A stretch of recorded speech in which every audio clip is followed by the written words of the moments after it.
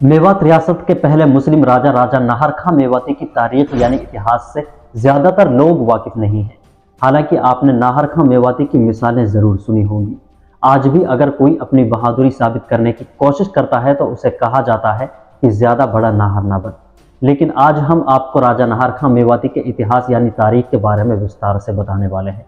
इस मेवाती बादशाह का इतिहास सुनकर आप मेवाती में होने पर फख्र महसूस करेंगे।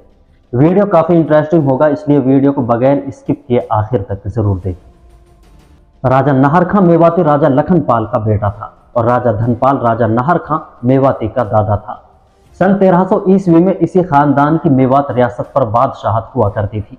राजा नाहर खां मेवाती मेवात रियासत का राजा हुआ करता था।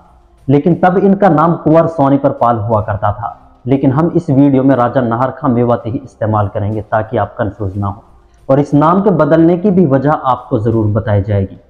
तो एक मरतबा राजा नाहर खां मेवाती और उसके भाई समरपाल दिल्ली में उस वक्त की दिल्ली की रियासत के सुल्तान फिरोज शाह तुगलक के दरबार में फिरोज शाह तुगलक की खिदमत में हाजिर हुए थे।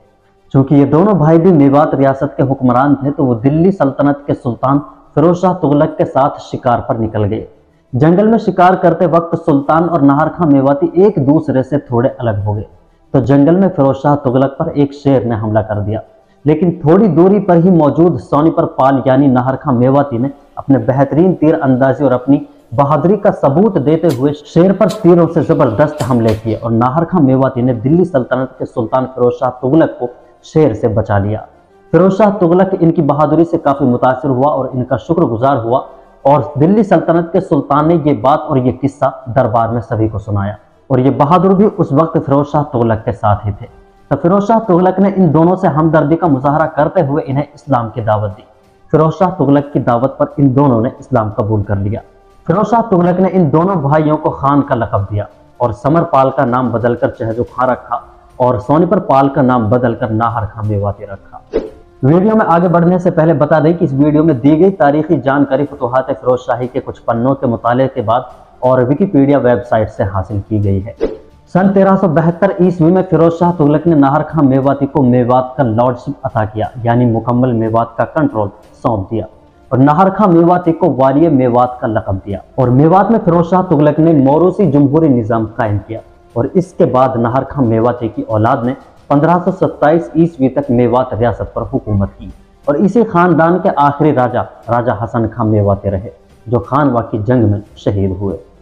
सन तेरह ईस्वी में जब तैमूर ने दिल्ली पर हमला किया तो नाहर खां मेवाती अपने तिजारा कोटला के किले से इस पूरे मामले पर नज़र बनाए हुए थे। मेवात रियासत उस वक्त तैमूर के डर से दिल्ली छोड़कर भागने वाले लोगों से भरी हुई थी।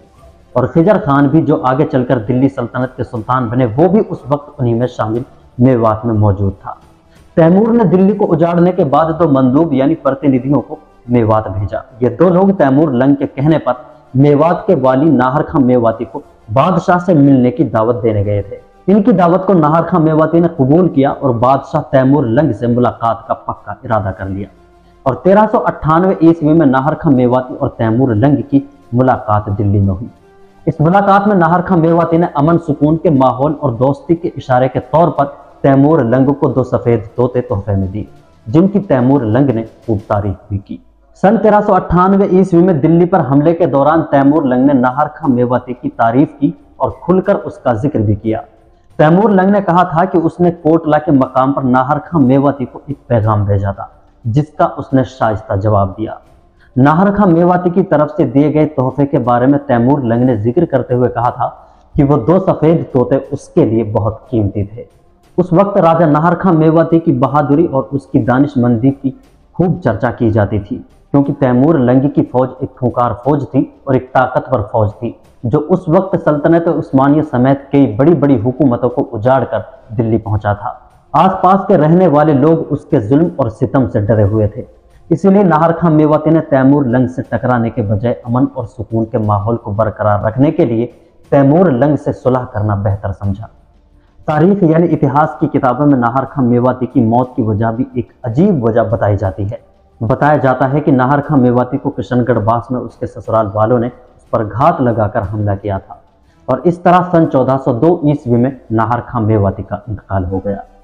आज के वीडियो में सिर्फ़ इतना ही। इस वीडियो के बारे में आप अपने राय कमेंट बॉक्स में ज़रूर रखें। अगर ये वीडियो आपको पसंद आया हो तो वीडियो को लाइक कर दें और शेयर कर दें। अगर चैनल को सब्सक्राइब नहीं किया है तो चैनल को सब्सक्राइब ज़रूर कर दें।